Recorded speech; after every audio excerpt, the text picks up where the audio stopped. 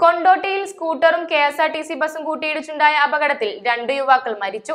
വാഴയൂർ പുതുക്കോട് പാലക്കോട് മുബാറക് മൻസിൽ മുഹമ്മദ് നിഹാൽ വാഴയൂർ പുതുക്കോട് താഴത്ത് വീട്ടിൽ അംജദ് എന്നിവരാണ് മരിച്ചത്.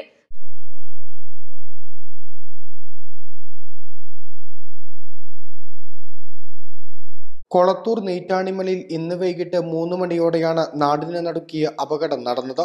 ബൈക്ക് മുന്നിലെ വാഹനത്തെ മറികടക്കാനുള്ള ശ്രമത്തിനിടെയാണ് അപകടത്തിൽപ്പെട്ടത്. നിഹാലിന്റെ മൃതദേഹം മേസി ആശുപത്രിയിലും അംജദിന്റെ മൃതദേഹം റിലീഫ് ആശുപത്രിയിലുമാണുള്ളത്.